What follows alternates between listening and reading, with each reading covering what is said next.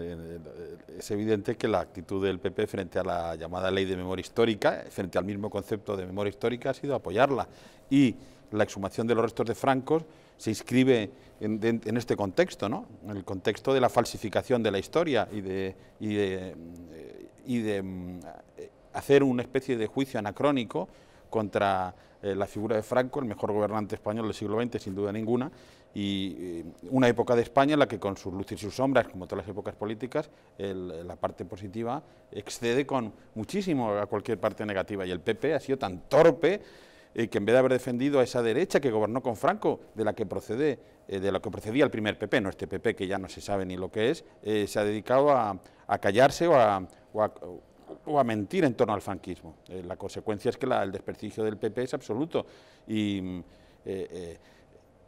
eh, es evidente que... Mm, y, hay que decir también que este tipo de pensamiento, esta deriva posmoderna de tonterías y absurdeces izquierdistas también empezó en Estados Unidos. Obama representaba en cierto modo también eso mismo. Bueno, veo que a ustedes no les gusta mucho el Partido Popular, que no le gusta a ninguno de los líderes del Partido Popular,